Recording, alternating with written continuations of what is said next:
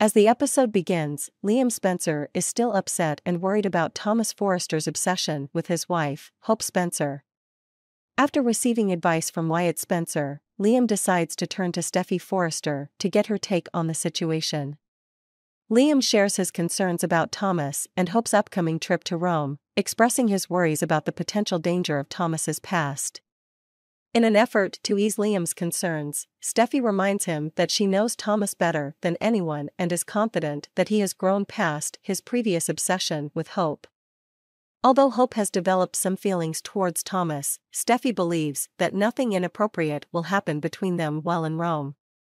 Despite Steffy's reassurances, Liam remains apprehensive about the trip. Meanwhile, Hope is excited about the prospect of traveling to Rome and showcasing her fashion line. Thomas is also eager to join her on the trip, hoping it will be an opportunity to further their romantic relationship.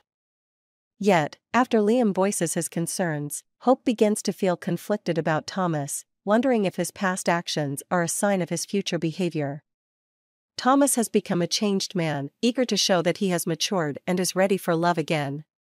However, he is warned by both Liam and Steffy to keep his distance from Hope during the trip, hoping to avoid any complications. Apart from the ongoing drama between Liam, Hope, and Thomas, Taylor Hayes' plan to win Ridge Forrester's heart has completely backfired. After numerous attempts to push Brooke Logan out of Ridge's life, Taylor is frustrated to see Brooke accompanying Ridge on his trip to Italy. Although Taylor was hoping to join the group in Italy, it's Brooke that will end up spending alone time with Ridge. Taylor, feeling defeated, begins to doubt her own plan. She starts to re question her connection with Ridge, wondering if she was ever the right person for him. Will Taylor have any chance of winning Ridge back, or has she lost him to Brooke for good? As for Ridge himself, he's been dragging his feet when it comes to rekindling his romance with Brooke. Concerned about their past, he's been hesitant to move forward into any kind of relationship with her, despite their long standing history.